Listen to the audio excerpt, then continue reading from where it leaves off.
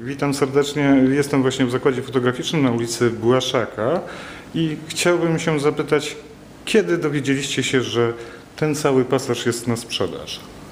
Już od kilku lat gdzieś takie słuchy za kuluarami chodziły, ale tak naprawdę nigdy nie było konkretów, więc tutaj e, jakieś takie konkretne wieści doszły nas z luty, marzec bieżącego roku, czyli 2013.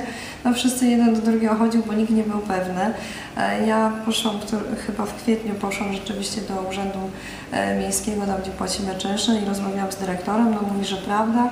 I my tutaj w międzyczasie napisaliśmy pismo odwoławcze, które miałoby wskazywać, że jesteśmy chętni, żeby kupić tutaj cały ten pawilon, być może założyć spółdzielnię. Każdy płaci czynsz na czas, więc też no, na ratę byłoby nas stać. I zobowiązaliśmy się, że w zamian za to, że jeżeli będziemy mogli kupić, to też y, jest y, w piśmie, że możemy tutaj zadziałać, żeby ta, ten wygląd zewnętrzny, który ponoć jest tak psujący okolice Konina, e, zrobić je, je, no jednostajny, żeby to wyglądało, żeby nie było, że w Koninie w centrum jest jakiś pawilon, który urok Konina psuje.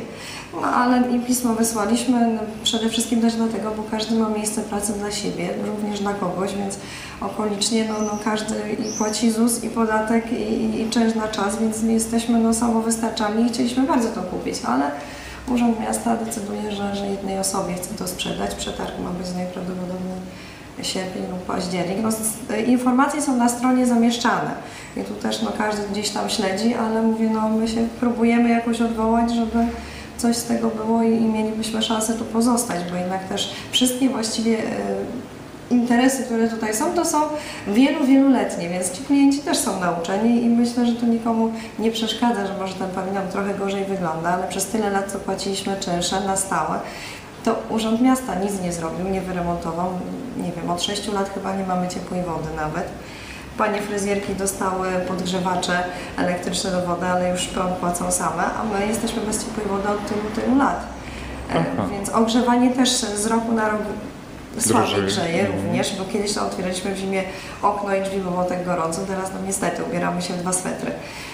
No i tak to wygląda. I cały czas próbujemy coś robić, że otwarty list protestacyjny napisaliśmy i powysyłany jest też w różne instytucje, które być może nam pomogą, no, a poza tym mówię, no, w odpowiedzi z Urzędu Miasta dostaliśmy, że no w sumie nie mamy szans na to, żeby móc to zakupić my, jako tutaj Czyli przed y, mm, uchwałą, która została przegłosowana prawie wszyscy za sprzedażą, Mhm. y, przed uchwałą wysłaliście to pismo i propozycję, że będzie E, tutaj Jak spółdzielnia? była podjęta uchwała, to adekwatnie do tego zgłosiliśmy właśnie e, według tej uchwały, co Rada Miasta ustanowiła, to my tą otwartość, Mhm. że chcemy jednak kupić i, i Bo że... przed uchwałą nie wiedzieliście Nie dokładnie no, o niczym. w ogóle no, pisemnej informacji do dzisiaj nikt tutaj nie dostał, że cokolwiek się dzieje w Urzędzie Miasta.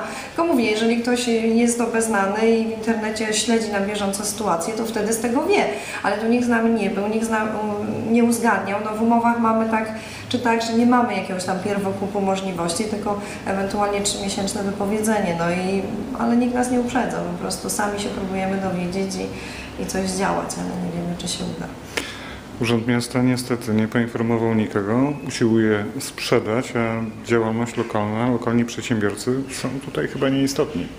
No myślę, bo tutaj no, też niektórzy, którzy mają tyle towaru, to Mhm. mówią, że jeżeli zamkną, nie będą mieli gdzie się przenieść, to nawet VAT, który będą musieli odprowadzić od danego towaru, to po prostu przekroczy ich możliwości i będą zostawiać własne domy, więc mówię, no, no każdy jest tu solidnym takim wynajmującym i, i wieloletnim, więc to po prostu no, nas to oburza. Jak jeszcze słyszymy, że ma być powstać kolejny market, bo takie słuchy chodzą, choć nie wiemy, to jest, mówię jak zwykle, być może tylko ma, miejmy nadzieję plotka, ale tutaj nawet ci mieszkańcy, mieszkańcy, sklepy, które obok nas są w kolejnym pawilonie, normalnie w bloku, również piszą z nami, bo wiedzą, że jak market powstanie, to i warzywniak na osiedlu zniknie i na ulicy Kolejowej znikną e, niektóre sklepy i tutaj na Błaszaka, więc mówię, no wszyscy razem się jednoczymy, ale nie wiemy, czy coś działamy. Chcielibyśmy bardzo.